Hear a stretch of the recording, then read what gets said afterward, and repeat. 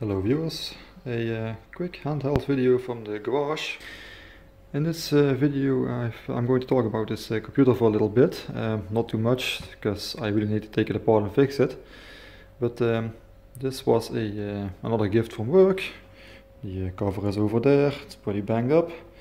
But um, yeah, it's kind of remarkable since this, as you can see, is a pretty old machine. It still has the uh, 7 segment display, turbo button, reset button and uh, a placeholder for a lock which is there. Um, but this computer is actually uh, quite remarkable in the fact that it still works. It has been running in production for the last 20 years constantly, 24-7 and um,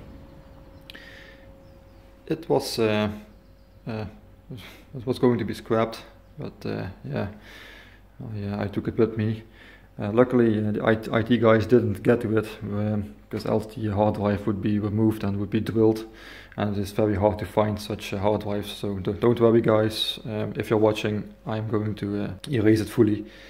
But um, it was covered in dust. It was uh, completely full of dust, and I, uh, when I took it home, I decided to uh, blow it out with the air compressor at work before I put it in my car. And when I did so, I noticed a couple of things. Um, first thing is that the power supply fan in here is completely seized. It uh, doesn't doesn't turn. Um, next thing I noticed when I got home was that um, the CPU fan doesn't really turn. It's it doesn't look that on video, but it, trust me, it is. Um, CD drive doesn't work. It doesn't open. Um, of course, that doesn't. That has nothing to do with the startup of the computer. Um, there is one of those uh, annoying um, battery-backed real-time clocks in there with a uh, self-contained uh, lithium battery, which is uh, most probably dead, as I uh, as I know um, work. The capacitors on the board are uh, swollen, so they are they have to go as well. Yeah. Covered in dust, defective capacitors, defective RTC battery, defective CPU fan, defective power supply fan and a broken um, a broken CD-ROM drive. But uh, watch this.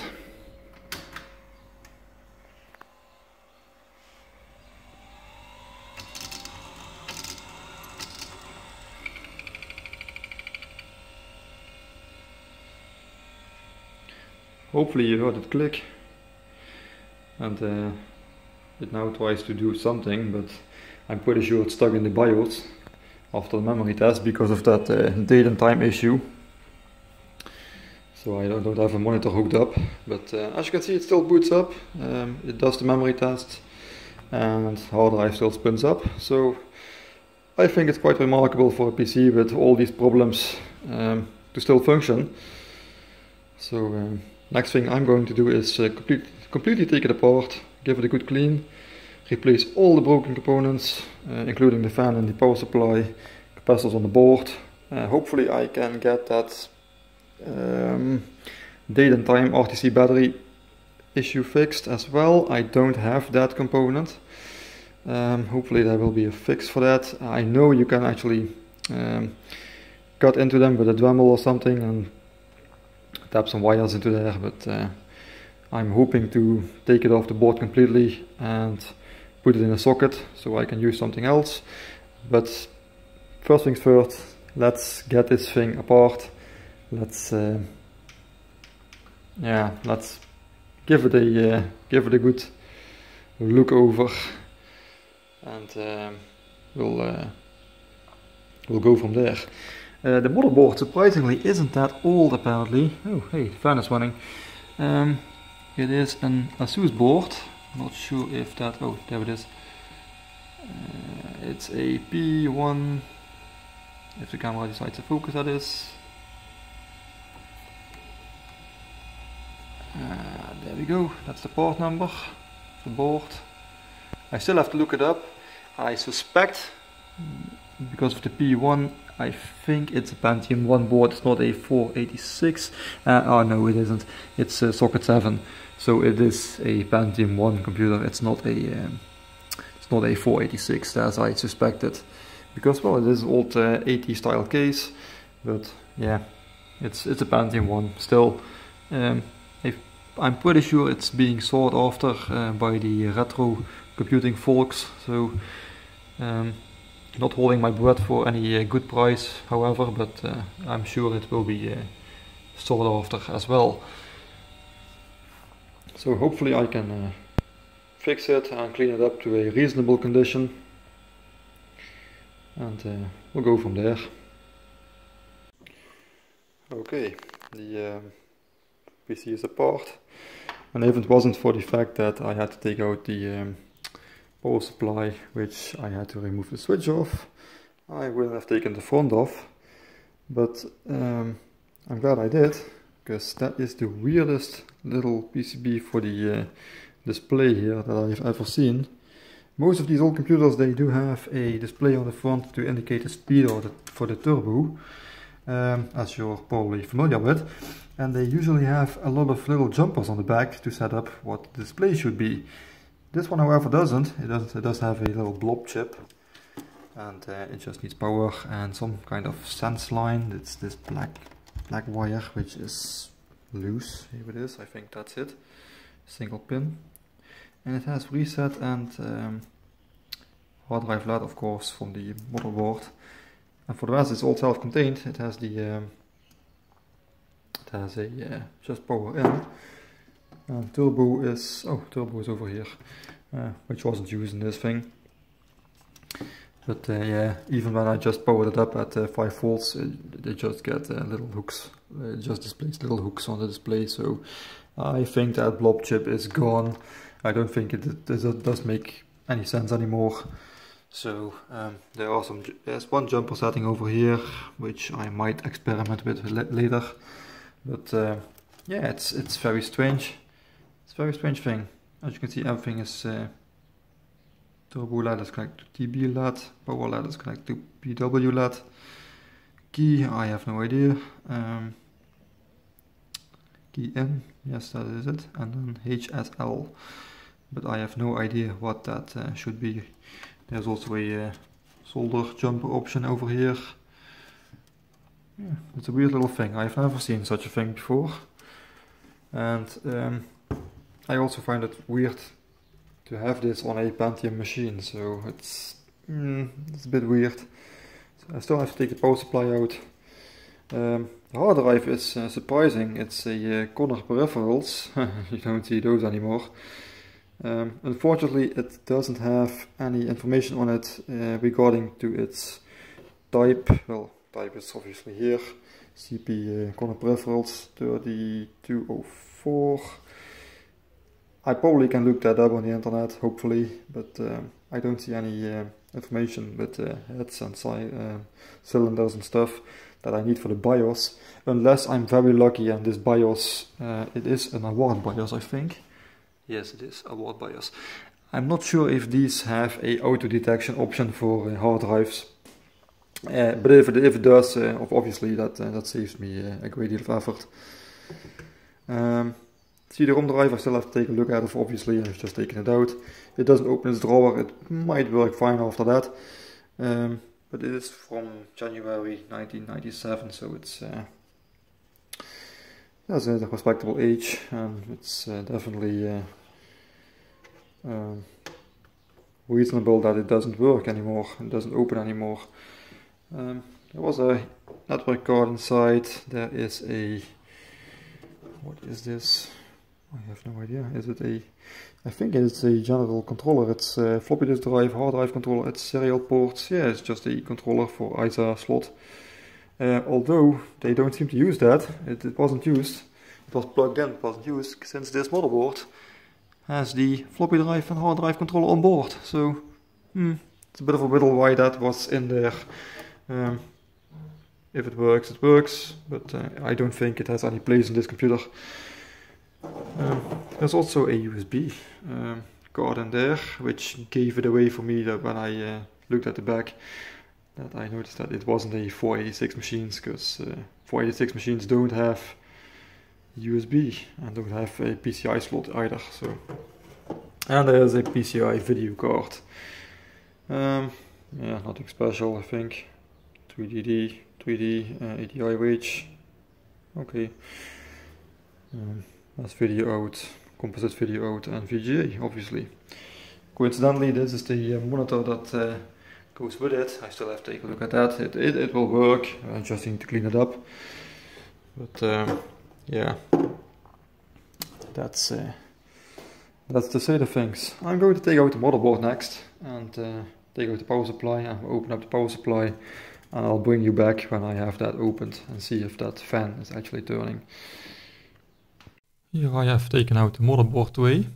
As you can see it's uh, pretty filthy under the CPU fan that I have slid out already. As that needs a good clean. I'm definitely going to uh, give it a bit of oil. Hopefully it will uh, run, run once again. I need to clean it first. And these motherboard trays uh, it's they are a little bit weird in these old computers. Um, as you can see there's no support over here. So this is all just flapping around. And um, the way these are work are with these clips. They are all held in with these these clips. You have to just have to uh, clamp them together and pull up, pull up on the motherboard. Before you can do that there's just one tiny screw here that holds it in place. So I have to undo that and uh, we'll take it from there. After I have removed the motherboard, I will uh, open up the power supply and see what's in there. These old motherboards, they still have um, these old uh, DIN uh, connectors for the uh, keyboard and these connectors they often break because of the uh, amount of force that you can actually um, put on these uh, big connectors. But this connector seems to be fine, it doesn't seem to be broken from the board. These two front pins are actually for mechanical mechanical stability and they are, seem to be uh, well attached to the connector still so um, that looks good. Um, and as far as the capacitors go these are all nice and flat. There are two of them over here that we saw earlier in the video that were uh, bulging. The other ones seem to seem to be fine still. Definitely uh, going to change them though anyway. And uh, yeah. It's an old motherboard, but it's still it's pretty modern, considering that it has the uh, floppy drive and uh, general uh, hard disk drive controller on board. Uh, does still have EDO memory though. Um, this is the uh, BIOS obviously, and this is I believe the uh, keyboard BIOS that uh, handles the keyboard input yeah, I'm going to take this out and we're going to open up the power supply. That fan is really stiff.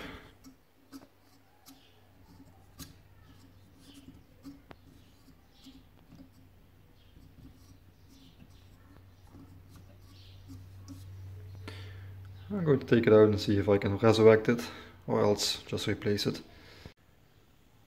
Well, the cracking is from peeling, but you only have to look at that sticker in this state with this bulge here to know that it has become very hot at one point. You can see the uh, glue has uh, disintegrated. So I have a nasty feeling that this fan has had a catastrophic failure many years ago and it completely seized up in the, uh, in the process or maybe it uh, has that failure because of the seizing up. Um, who knows. Anyway, I think it's safe to say that we're not going to resurrect this one and we're just going to replace it. Um, I have to take the board out for that, but uh, shouldn't be too hard to do. So um, these capacitors in here seem to be remarkably good still, and uh, not quite sure what brand they are. Oh, Rubycon. Yeah, Rubycons. Because um, there's one thing about these power supplies, these old power supplies, they just keep on going. It's yeah, even without a fan, as you can see in this one, uh, it just works. So yeah, I'm not going to mess with it. I have some old computers for myself that I have never messed with the power supplies before, so these uh, definitely uh, don't need a lot of service. So I'm just going to replace the fan and I will do so at the bench uh, upstairs. Here's the motherboard, all the uh, electrolytic capacitors over here and here are replaced uh, with these uh, Altec ones. 1000 microfarads, 6.3 volts and 105 degrees. Um, there it is, Altec. And um, these ones over here are the old ones. And some of them actually leaked. They were the ones that were located over here, the ones that were bulging. Um, yeah, cleaned up the processor, took off the heatsink. It's not completely clean, doesn't need to be spotless. Uh, there was some uh, residue of uh, what was formerly heat heatsink compound on there. I took that off, cleaned that off, cleaned it off the processor as well. Um, yeah, that's all there is to it. I just touched up those mechanical, uh, the pins for mechanical rigidity uh, on this connector as well. Wasn't really necessary, but I did so anyway. Um, I'm just going to leave this um, real-time clock module in, in for the time being, as I don't have a replacement. And well, it's, uh, it's spotless actually. Um, let's have a look. Here are my joints, they aren't the best. Here are the uh, three ones. And there are two over here, I think. Yes. Uh, yeah, those two. Yeah, good enough. Uh, here I damaged the board just a little bit, but doesn't matter. And here are the other ones next to the connector, so those are those two. But um, yeah. Up next, power supply. Um, before I forget, I've put on the uh, heatsink and I didn't put any thermal grease uh, between it and the processor as these processors they will they don't produce a lot of heat and since it's all nice and flat and it actually uh, it's, it has a good clamping force. I don't expect it to be a problem, especially since it has been running without almost any heat, uh, heatsink compound uh, for, for the last uh, couple of years. So um, I'm going to leave it like that. One other thing, um, this processor uh, cooler, this, this little fan here, was actually connected through this uh, clumsy uh, Molex adapter. And um, obviously that uh, requires, uh, that, that, that is for the fan to be powered. But um, this motherboard actually had has a fan con and it has ground 12 volt ground on these pins here. And I happen to have some uh, wires uh, or pre-terminated wires uh, lying around with these connectors on them. Uh, yes, it's not the perfect connector for this, uh, but the pin spacing is correct and it actually clamps in very good. It uh, won't shake loose, that's for sure. So I've um, went and put on a, a piece of this one on the um, on the fan so it is nice and tidy and it's way better than that uh, clumsy Molex thing so just put this on here slide it in here it clamps and just plug this one in here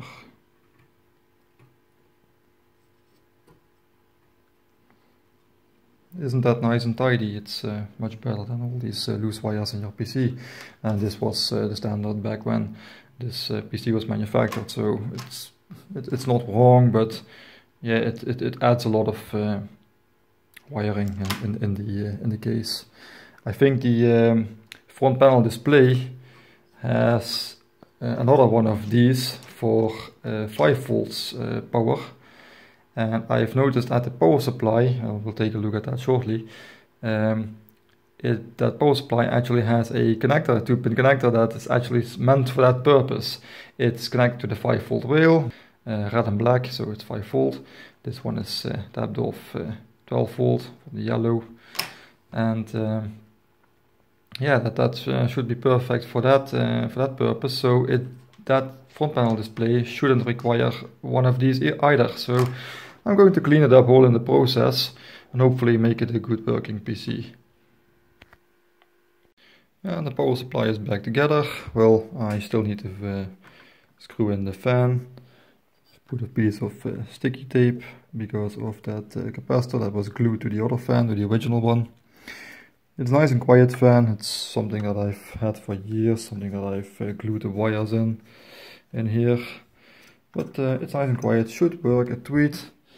I've checked the capacitors while I was at it and they all seem fine uh, ESR wise and both capacitance. Capacitance was a little bit higher and ESR was well below um, 1 ohm, so 0.1 or 0.2 ohms. The main electrolytics for the smoothing are, should be 330 microfarad each. They measure 280, 250 respectively. Eh, not really that uh, not great, but the ESR is 0.2 or so, 0.2 ohms, and given the high voltage rating of these, that's perfect. It, it's okay. Um, it uh, makes me wonder how these, uh, if they are, these were not in parallel with each other. Makes me wonder if these old power supplies use another topology that uh, actually uh, works out better in the long run, considering that uh, most modern power supplies, PC power supplies, uh, die within a couple of years, or uh, die certainly sooner than um, these old ones do. But uh, yeah, mm, I don't know. Could be of the uh, lower uh, lower rating of these power supplies. They have a lower, much lower power, of course. So uh, might be a, might be various factors. But yeah, these these old power supplies just seem to hold out much longer. Um, anyway, here's that um, wire that was uh, coiled up around here. Uh, just uh, red and black. And it's going into the loom.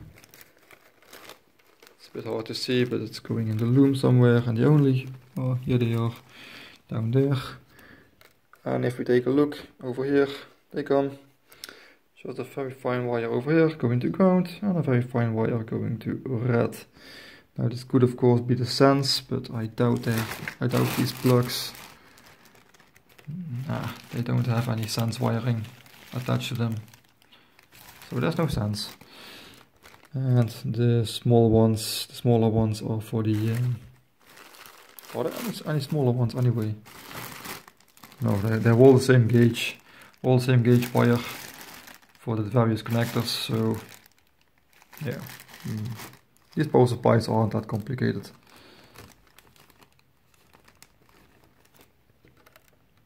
Yeah, yeah, there are some thinner wires in there, but they are for the, uh, the SCAD drive connectors.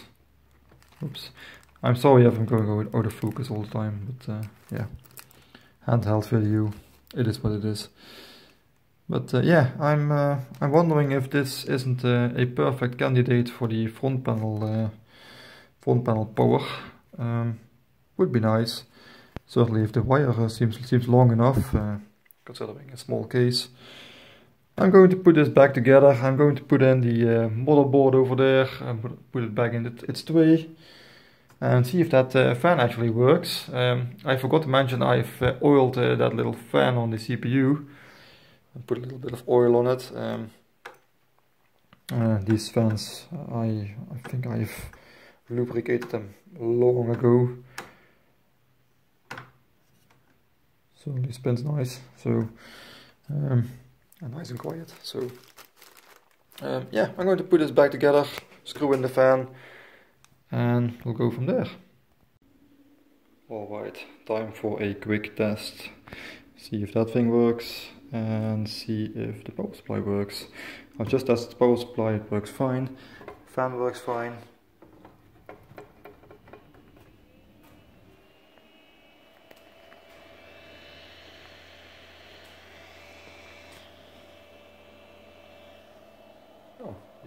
fan and power supply wound up apparently. And there's something connected. It was uh, very quiet. Now I can actually hear it. That's very quiet. For such old thing.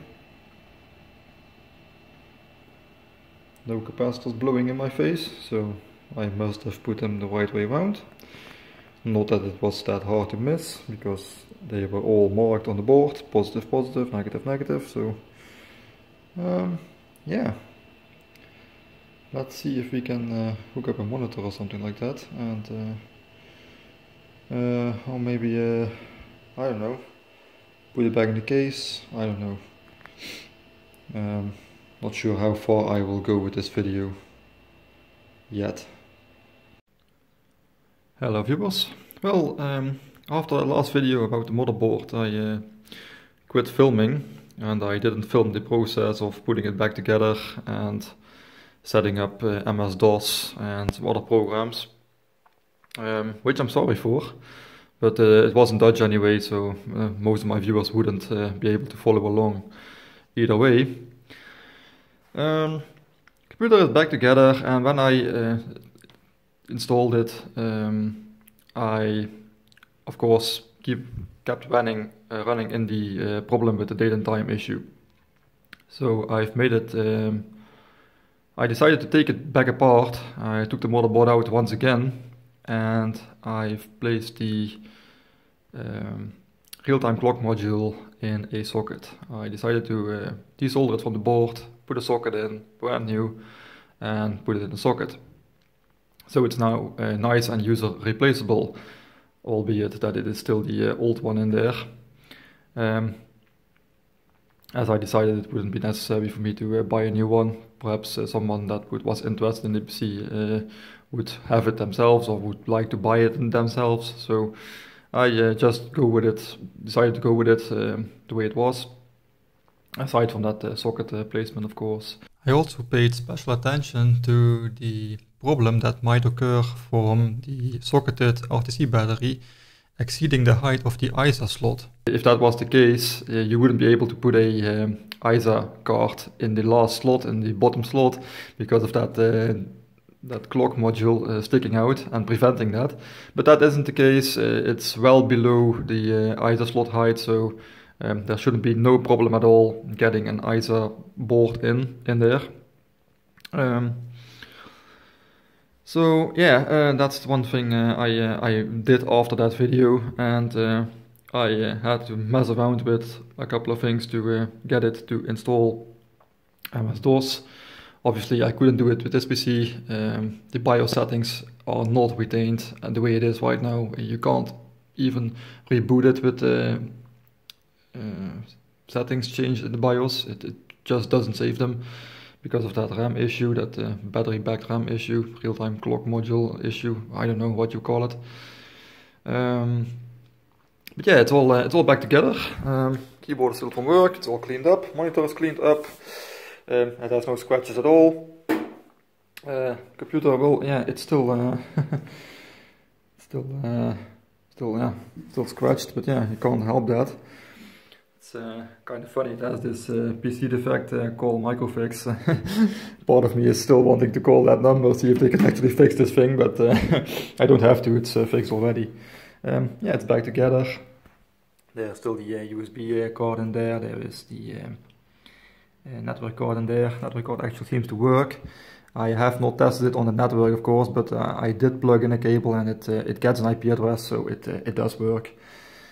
Um, yeah, DIN socket to uh, PS2 uh, connector um, adapter. I just looped the monitor to the power supply the way it is intended. And uh, yeah, it's all back together. Um, yeah, you've all seen the motherboard. I will include some pictures uh, of my uh, my work in the in the final edit of this video. Um, also some pictures of my solder work, of the socket replacement and all that kind of stuff. Um, for Dallas clock, that is the, the real-time clock module. So without further uh, ado, um, let's uh, power this thing up. This um, 7 segment display module here has a blob chip on the back, so there's nothing to do about it, you can't really fix it. Um, I rewired the front panel, I rewired some uh, some power issues, uh, some power wiring, so that it is uh, way nicer. There is no extra Molex adapters floating around in the case anymore. It's all connected directly to the power supply or to the motherboard.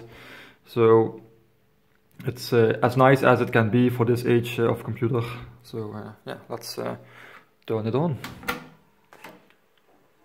And the C drive now works too. It makes some crunching noises, but that's what it does. It does actually work. There we go. 65 megabytes of RAM. Conner peripheral hard drive, uh, light on uh, CD-ROM drive. And of course the CMOS checksum error, because, well, the battery is dead. CD drive still needs a little, a little bit of help. Uh, that is if it responds to my There we go. It still uh, opens, but it is very stiff. I've did, I have replaced the drive belt for the uh, for the drawer, but um, it's a bit uh, tight, I guess. But I couldn't find anything else, so it now at least it opens. But if you close it, it actually times out and it uh, opens again. So when closing, you just have to help it just a little bit, so it closes in time and it locks. But uh, that's about it. it. It actually works. This cat drive itself uh, works too. Um, yeah, let's uh, have a look. I'm going to press F1 here.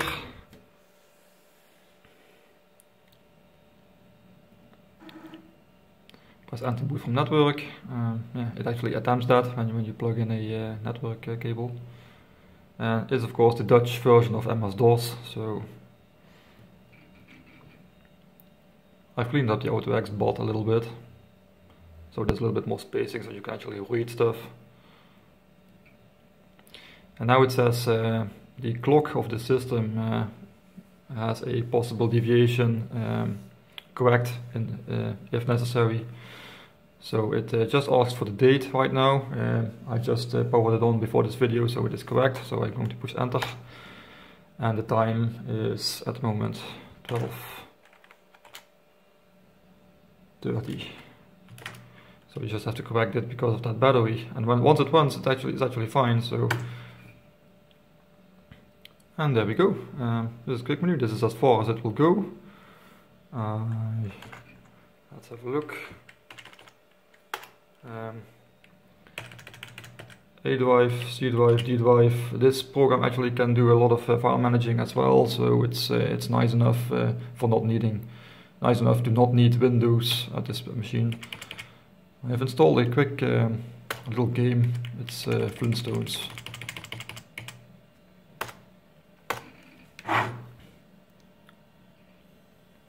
And you can't possibly hear that on camera, but there is a PC speaker in there that's actually now making noise.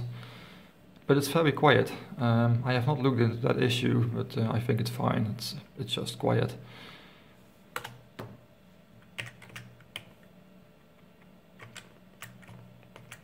Yep, and I died already. This is a very hard game, by the way. It's uh, ridiculously hard. And here we are back in quick menu. Uh, calculator, calendar, phone book, log, all the uh, options for this program. There's, there's different. Uh, you can actually look this up. You can actually still get this program uh, from the manufacturer, believe it or not. But uh, yeah, um, this is what it is. So it's uh, date and time correct. it's period correct, so to speak. It is uh, this computer is from 1997 and this software is 1998. But uh, yeah, the website is still uh, up. You can still uh, visit that. It's the Mona Lisa with a with a mouse. But um, yeah, it all works. Um, let's see. let's perform a scan disk because this video will most possibly also. Um, be sent to the uh, buyer. This thing has uh, has been sold this morning, so I'm just making this video as I forgot to do this uh, after I fixed it. Um, and this will also be for the uh, this video will also serve as a um, um, as evidence for the uh, for the buyer that this thing actually works and uh, yeah it's now uh, performing its uh, scan disk for the uh, all all of the uh, 210 megabytes of that hard drive. And uh, the weirdness on the screen here is just because of the LCD monitor it's there's, there's, nothing wrong with the video card or anything. And again it's all in Dutch so yeah but I think we all have seen ScanDisk Microsoft ScanDisk this is MS-DOS 6.22 and yeah it has that installed by default. I've also installed the additional uh, option package for MS-DOS 6.22 I, I had that apparently so I put it in. And the uh, I, I think I, I don't know I, I forgot what percentage of the drive is actually used right now but uh, if this uh, scan completes I'll bring you guys back and we'll uh, have a little look Well, here we are again, uh, roughly 10 minutes later. It's uh, nearing its end, as you can see. Still zero damage detected. I'll wait for that to finish. No problems are reported with uh, Drive C. So I'm just going to quit it. In the meantime I have uh, grabbed a serial mouse as it is something that I did install in the AUTOEXEC uh, bot file uh, for it to load at startup. Um, it's a uh, standard mouse, it will not be uh, included um, with the shipment to the to the customer as I need this myself and I didn't get any with the uh, with the computer when I got it from work so um, let's uh, no real shutdown procedure for these uh, these kind of computers so I'm just going to power it off. The hard drive is modern enough to automatically park so there shouldn't be any problem at all. As long as as it is not active when you uh, turn it off but it's it wasn't doing, doing anything. So I'm just going to grab this uh, mouse. I'm going to plug it in here yeah, COM1. And when we power it up now, it should just work and it should uh, provide a little bit more messages when it boots up as it finds the, uh, as it detects the mouse, I should, I should say. So here we go once again. It is of course a Pentium um, 166 megahertz and it's definitely more than enough to run uh, Windows 95 or even Windows 98 but I decided to make it a DOS computer. Um, I'll uh, leave any other software up to the customer. So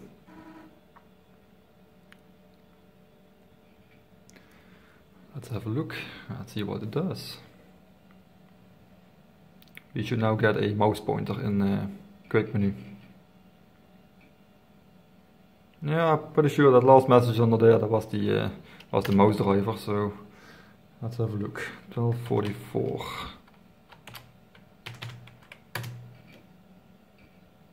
And there we go. There's our mouse pointer. And that should actually work. And while we're at it, we can have a look at the... Um, uh, click the C drive. Uh, ju just click it. I think it's, it's enough to uh, select it. Click info. And there we go. Drive C information, uh, total size 1212 megabytes. Um, it's advertised as a 1200, uh, sorry, um, 1200, uh, 212 megabytes of uh, uh, megabytes of uh, hard disk space, and it is advertised as a 210 megabyte drive. So, as you can see, we've only used very little, only DOS and um, some drivers and that little game that is actually on one diskette so it's only 1.4 uh, 4 megabytes uh, at most. Um, you can see that we have used 5% of the um, C drive. And I don't really have any CD-ROM drive uh, handy to uh, any CD-ROM to put in the drive handy at the moment but uh, I can assure you it works. It, uh, it does actually work. So just going to leave that here. Um, let's see. What's in the AUTOEXEC.BAT? We click it, we click view. And I've, uh, this is the only thing that's in there. Of course, uh, some stuff is in Dutch because I, I like to put in uh, some descriptions. But yeah, there's some uh, standard stuff. Um, some uh, some rules I've, uh, some lines I've commented out so they don't actually um, display when starting up. CD-ROM drive is uh, being loaded here, mouse driver is loaded here, um, and there was some text that actually says what uh, what you're going to do next, which is the date, the setting for the date, and the setting for the time. And after that, it, uh, it just loads quick menu. And I've modified the uh, QM.BAT that's normally uh, included with this quick menu program to operate from a single command line like this because normally you have to do C, CD, quick menu and then, and then um, QM.BAT after that so you have to use three lines but I've brought it back to one line it's uh, there's probably uh, people with more way more knowledge about uh, DOS and batch files than uh, then I can possibly fathom. But um, yeah, uh, as far as my uh, my DOS knowledge goes, uh, I've installed it uh, pretty nicely, I guess. Um, um, of course, you can edit edit the uh, stuff as well, and you can save it. So there's no need for uh, MS DOS editor to start. You can if you want to, but um, I think it is even in the default menu. Where is it? Or isn't it? No, there isn't. Mm, there isn't. But of course, you can still access DOS. And uh, what it does, it actually makes a uh, quick batch, batch file to um, recall to quick menu. So it uh, displays this line, type exit to return to quick menu. But this is actually uh, DOS uh, 6.22 as you can see. So if we load edit, that should just work. MS DOS editor, of course in Dutch again, so um, ah, there we go, even the mouse works. I'm going to close that, there we go. And if we type exit, we'll be uh, bringing back uh, quick menu. Quick menu has the facility to make multiple pages of shortcuts um, which can be accessed through this, uh, these buttons. Obviously there's only one page right now, we are on page one. There is a um, extensive help file included. It has a lot of functions. It, it really can do a lot. It is uh, screensavers and all that kind of stuff. So uh, we'll have a quick look at that. I think it's a very neat program for its age. So let's have a look. Uh, password. You can actually password protect uh, stuff.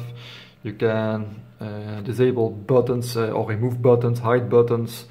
Um, for DOS programs that display a message after they have quit you can there's an option for every link that every button that you make to put in a pause after the program closes. So the message is still readable before it um, switches back to quick menu. So there is time to read that. Uh, some shareware games uh, have this these uh, uh messages. They uh, try to uh, convince you to buy another game or something like that which is nice. So there is a huge amount of options with this program for its age. I think it's really, really, really neat. So let's have a look screen. I, I forgot what that was. Oh, it's my new background and stuff. You can actually load a um, background as well. um, let's have a look, screen blank. It has uh, some various, uh, this is the uh, current, current screensaver, which is the default. I shouldn't move the mouse yeah, just uh, displays a digital clock and it uh, jumps the screen. But there's uh, a lot of screensavers available. As I said, there is uh, really no point in uh, needing Windows 3.11 for just simple uh, file operations. When you have this program installed, it's it can do most basic things by itself. So it also keeps a log of, let's see, did I, no, I didn't save, that's good. Um, I'm going to get out of the modify menu because now we can actually modify all these uh, buttons and stuff. There is a log file, I forgot where it is. Um, hmm, apparently it's, oh it's in utility, there it is, log.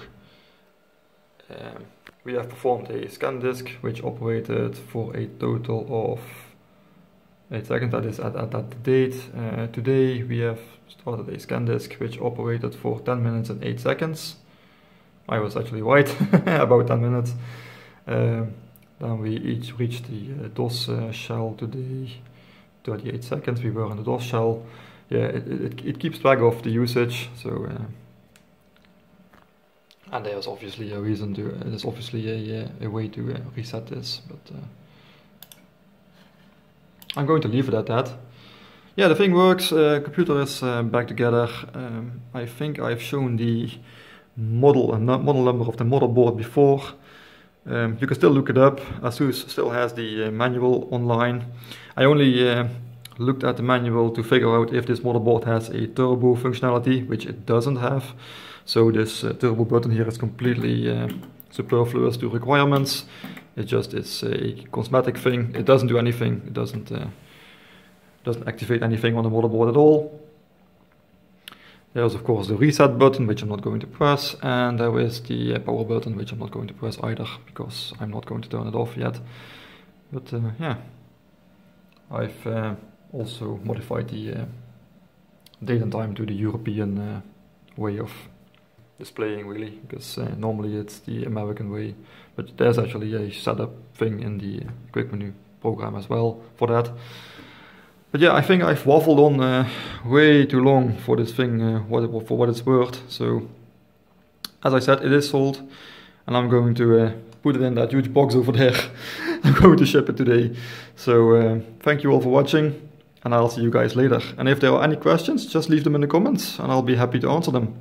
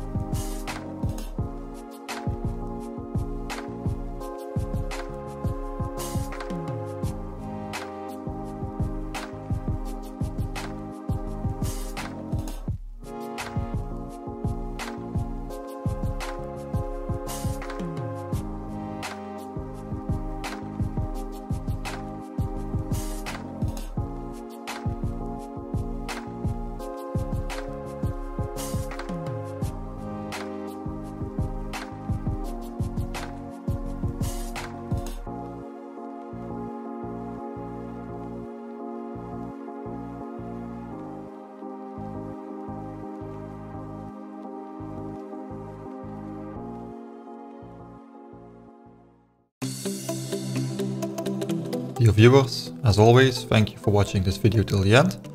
If you have a comment, you're more than welcome to leave it down below. Also, don't forget to leave a like if you like this video and please consider subscribing if you want to see more of my videos in the future.